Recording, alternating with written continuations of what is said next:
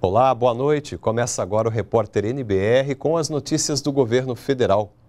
Hoje, pelas redes sociais, o presidente Michel Temer comentou sobre a viagem à China e os acordos firmados lá, fruto, segundo ele, da retomada da confiança no Brasil. Temer também citou os índices da economia que tiveram melhora na última semana, como a queda da inflação e da Selic, a taxa básica de juros. Meus amigos, minhas amigas, acabo de voltar de uma viagem de trabalho à China. Foi gratificante receber dos presidentes russo e chinês manifestações de confiança na retomada da economia brasileira. Esses acordos chegam num momento muito importante de conquistas do nosso país. No Brasil, a semana foi repleta de boas novas. Notícias que confirmam a nossa caminhada na recuperação da economia. Se não vejamos, a inflação sob controle, 2,46% ao ano, a menor taxa desde 1999. O índice da Bolsa de Valores subiu tanto que encostou na máxima histórica, mais de 72 mil pontos. Continuamos com a redução dos juros. A chamada taxa Selic caiu de 14,25% quando assumimos o governo para 8,25% ao ano. E o Congresso aprovou a nova taxa do BNDES de longo prazo e a nova meta fiscal para 2017. A retomada do crescimento também se revela na produção de veículos no Brasil, que subiu 45% em agosto na comparação com o mesmo mês do ano passado. Aumento das exportações, recorde na produção de grãos, crescimento do PIB, dólar estável, diminuição do risco Brasil dados otimistas apontam uma recuperação do emprego. Todos esses fatores positivos são resultado do nosso firme compromisso com as reformas que estão em curso, com resgate da nossa economia e, principalmente, com a criação de novas frentes de trabalho. O que o brasileiro quer é trabalhar, é ter oportunidades, é ter sua dignidade preservada. Governar é, mesmo diante de momentos adversos, não se omitir, Enfrentar a realidade é não pensar em si, mas no futuro das pessoas e do país.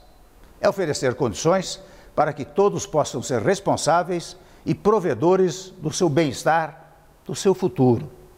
O que mais me encoraja e dá força para enfrentar os desafios é sentir na sociedade o desejo de corrigir os erros das administrações anteriores. Tenho a consciência clara do país que queremos. Vamos trabalhar juntos para transformar o Brasil. Vamos fazer isso com equilíbrio, com energia, com determinação. Serenidade combina com maturidade. É tudo que o momento pede. É tudo o que o país precisa. Mãos à obra, Brasil. E um final de semana excelente para todos. O Ministério da Educação divulgou hoje dados preliminares do Censo Escolar de 2017. Nós vamos conversar com a repórter Luana Karen, que está no Palácio do Planalto e tem as informações ao vivo para a gente. Oi, Luana, boa noite para você. Olá, Roberto, boa noite. Boa noite também a todos que nos acompanham. Bom, segundo o censo, foram registradas quase 2 milhões 190 mil matrículas em creches. Cerca de 3 milhões 860 mil matrículas na pré-escola, pouco mais de 12 milhões de matrículas nos anos iniciais do ensino fundamental, quase 6 milhões 650 mil matrículas no ensino médio e 2 milhões 858 mil matrículas na educação de jovens e adultos. Esses dados abrangem escolas das áreas rural e urbana em tempo parcial e integral. Com base no censo escolar, é feito o repasse de recursos e a execução de políticas públicas para a educação, como o transporte escolar, a distribuição de livros e a instalação de bibliotecas. O INEP é o que é o responsável por reunir e receber esses dados do censo escolar escolar e executar as políticas públicas de educação. Roberto. Tá certo, Lana. Obrigado aí pelas informações. A data da independência do Brasil foi marcada por desfiles em todas as partes do país.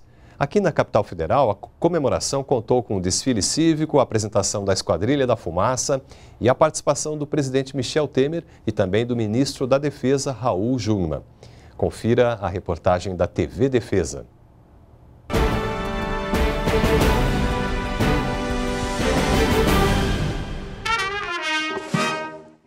Há 195 anos, o Brasil se declarou independente de Portugal e a data virou símbolo de cidadania e orgulho. É lembrada anualmente pelo tradicional desfile cívico-militar e reuniu cerca de 40 mil pessoas em Brasília. Estiveram presentes na comemoração o presidente da República, Michel Temer, o ministro da Defesa, Raul Jugman, e autoridades. Um momento de celebração da nossa democracia. No 7 de setembro, nós passamos a ser uma nação soberana. Passamos a ser uma nação que se autodetermina, que escolhe os seus caminhos, que tem os seus projetos, que tem o seu ideal.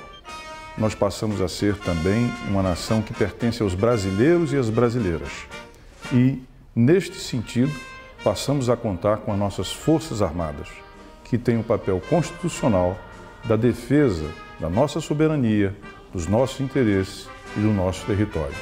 Por isso, o 7 de setembro é uma data para todos comemorarmos, porque é a data da nossa independência, da nossa afirmação e de que nós passamos a pertencer ao mundo das nações soberanas, democráticas e que tem a sua própria autonomia, que decide o seu destino para favorecer e para trazer felicidade e um futuro melhor para todos os brasileiros e brasileiras.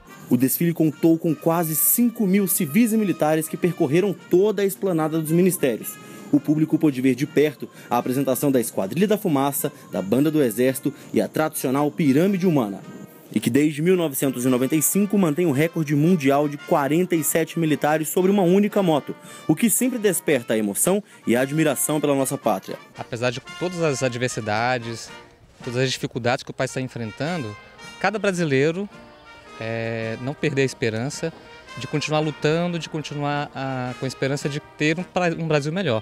Sou brasileira e eu acho que assim todo brasileiro ele tem um, um otimismo mais é, elevado, né? Eu sou muito otimista e acredito que essa fase política que vai passando, que está passando, a gente vai superar. O que isso pode retratar hoje com os volumes de pessoas aqui é diferente. As pessoas confiam nas Forças Armadas e, e nada mais como o 7 de setembro para reforçar isso. Eu gostaria de todo ano é, estar aqui para ver essa data tão linda que eu acho.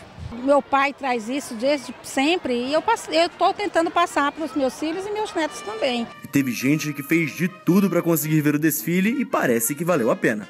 Eu subi em cima da árvore para ver. Eu vi o carro do exército, vi o avião passando e vi também os bombeiros. Foi muito legal. Esta edição termina aqui e você pode acompanhar a nossa programação pela internet no site da NBR ou então em nosso canal no YouTube. Uma boa noite para você e continue com a gente aqui na NBR, a TV do Governo Federal.